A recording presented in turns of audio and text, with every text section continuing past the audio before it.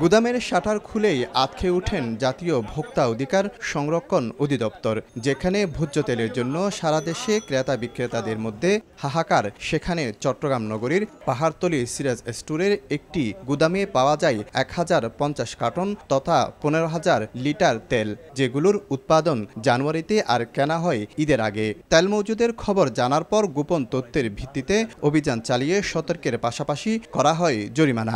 আগে থেকে যে পরিমাণ তেল এনেছেন তো তার থেকে অর্ধেক মোটামুটি অর্ধেক পরিমাণ তেল উনি বিক্রি করেছেন। আর গত তিন মাস থেকে লাস্টের দিকে যে তেলটা আনছেন আগের তেল সহ উনি অনেকটা তেল এখানে জমা করে রেখেছেন। ঈদের আগে কেনা বোতলজাত প্রতি লিটারের দাম একশো ষাট টাকা কিন্তু বিক্রি করছে সরকার নির্ধারিত একশো আটানব্বই টাকায়। তবে তেল নিয়ে এমন কারসাজের বিষয়ে ডিলাররা ভিন্ন যুক্তি দিলেও বাজার কমিটি বলছে এটা সম্পূর্ণ অন্যায়। আমাদের এখন প্রত্যেক দিনে মাল যাচ্ছে বাজারে।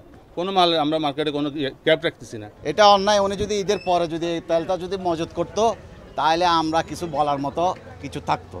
কিন্তু এটা যখন ঈদের আরও এক মাস দেড় মাস দুই মাস আগের মজুদ এখানে আমাদের করার কিছু নেই। এদিকে বাজারে ঈদের আগ থেকেই উধাও তেল বেশি দাম দিয়েও তেল না পেয়ে হতাশ সাধারণ মানুষ।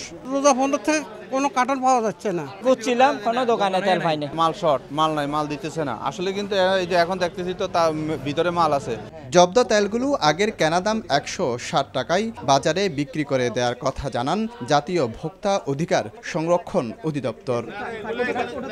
এর আগে গত রোববার নগরীর কর্ণফুলী মার্কেটের একটি দোকানের নিচ থেকে এক হাজার লিটার মজুত করা তেল জব্দ করে সংস্থাটি। শফিকুল আলম সময় সংবাদ চট্টগ্রাম।